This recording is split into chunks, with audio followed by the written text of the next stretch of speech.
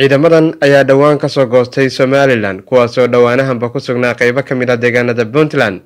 Siciid Cawil Jaamac Caara oo ka mid ah saraakiisha hogaaminaysa ciidankan soo goostay ayaa sheegay in saldhig ciidan laga siiyey qaybo ka mid ah deegaanada Puntland. Saraakiisha ciidamadan hogaaminaysa ayaa warbaahinta u sharaxay sababaha ay Somalilan uga soo goosteen iyo ujeedada ay u sameeyeen jamhadan cusub. markaan ka warramo ciidamada halkan aanu ku tababarano ee saldhiggan laga siiyey iyo kaymaatankii jamhuuriyadda somalilan. Sidaa ka warqabtaan bishii februari waxaa la samaystay dawlad la magac baxday jamhuuriyadda somalilan. Waxay dhammaan ummaddu ku bahawday ilaa min sool ilaa min zaylac. Waxay ku bahawday jamhuuriyadda somalilan. Siddeed iyo labaatan sannadood ayay jirtaa jamhuuriyadda somalilan muddadan ugu dambaysa laga soo bilaabo wakhtigii uu axmed maxamed maxamuud siilaanyo xilka qabtay ilaa maanta. Waxaa ka bilaabantay cadaalad darro la yaab leh. Waxaa ka bilaabantay dulmi ummadda dawladda loo yahay. Markii aan ka dhex arki waayey cadaalad rasmiya markii aan ka dhex arki waayey dawlad loo siman yahay markii aan ka dhex arki waayey horumar ballaadhan oo ummaddu u siman tahay waxaan go'aansaday inaan saldhig weydiisto puntland si aan u suuliyo dulmiga. Markaan hoos u dhaadhaco waxaan ka mid ahaa dawladda waxaan ahaa korneyl sare ciidamada qaranka xataa alaanag waxaan ahay somalilan. Waxaan suulinayaa sida rasmigaa markaan idiin sheego cadaalad darrada iyo dulmiga laban agoon oo iska soo horjeedo midna xuquuqda qaadanayo midna aanu qaadan halkaasaa ka arki kartaan cadaalad darrada ka jirta. Markaan hoos ugu eego waxaa jirta marka la eego awoodda dawladda waxaad arkaysaa family shan iyo toban sarkaal leho kulanaya shir baan leenayna waa family. Waxaad arkaysaa maxamed siyaad barre alla yaa raxman raaximiin ilaahay ahu naxariisto. Biyaha waa laga dharki jiray hargeysa. Waxaad arkaysaa cid aan cabbaynba oo biyo cabbayn waxaad arkaysaa cid baambadda ku maydhanaysa sidaa markaad u eegto waxaad arkaysaa gobolka sool. Dagaalkii waa ka dhammaan waaye nayshin baa deggan. Waxaa deggan ummado fara badan.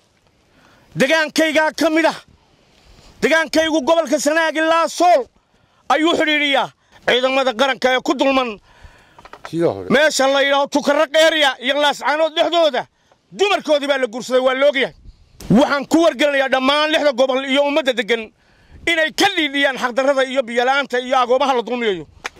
Dhowr iyo labaatankaa sannadood cadaalad darrada ka jirtay baan caddaynayaa oo lambarun waxaa ka ah shananka ciidanku ilaa maantii shan iyo labaatankaa sannadood shananka ciidanka cid baa ahayd. Midhaa cid kale ma qaban karto shananka ciidanka qaranka. Midhaa cid kale ma geydo. Beelaha somalilan waa fara badan beelaha somalilan waa fara badan yihiin halkan waxaanuu nimi. Haddii aanu nahay jabhadda halkan timi ee ku kacsan dowladda somalilan cadaalad darraana keentay. Cadaalad darro ayaana keentay nagaalka cadaalad darradaa markii aanu adkaysan weynayna waxay noqotay inaanu walaalahay u nimaadno. Inay baysna siiyaan. Inay aad iyo aad noo soo dhoweeyaan. Annagoo dhan macuqaashadii aanu wadamarayno goobta waxaan leeyahay haddii aan la helin dowlad somalilanah oo dadka somalilan u wada siman yahay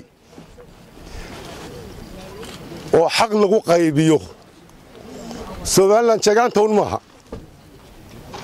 Jeegaanta qura maadee somalilan somalilan way fara badanta waxaan markaa halka ka caddaynayaa inaan haddaan si cadaaladla loo qaybin oo aanay ku soo noqon cadaaladda somalilan oo dal la wada leeyahay aanay noqon wax ka soconaya inaan xukunkaa maanta ka haysteen wixii somalilan lagu heshiiyey mar haddii laga baxay annagu cadaalad darrada sidaan uula dagaalami karaan uula dagaalamaynaa waxaa la yidhi haddii naftu qoorta soo gaadho toobaddu ma fura maanta heshiis iyo wadahadallo iyo wax oggolaanshaha laga sheeg sheegaya. Maanta looma baahnayna horaa loogu baahnaa. Maanta wax la aqbalaya maaha waana sidaa ay u dhaqaaqday. Cid damboo laga habranaya iyo cid damboo laga joogsanayaana ma jirto xaqdarraduna iyadaa wakhti leh wakhtigeedii waa dhammaaday. Puntland ay siisay jabhadda xaqudirirka ah ee cadaalad xumada uga soo baxday dalkii somalilan. Danta weyne maanta shirkan jaraa'id aanu qabanay waxa weeye marka u horraysa daafurka xeradaas iyo inaannu cid kasta oo dani ka hayso inay xaqudirir noqdaan cadaalad xumadana ka dagaalamaan inay maanta marka laga bilaabo xeradii furan tahay. Arrintan ayaa ku soo beegmaysa iyadoo shalay wasiiro ka tirsan puntland ay hadallo kulul hawada u mariyeen maamulka somalilan oo muran kala dhexeeya dhanka xuduudaha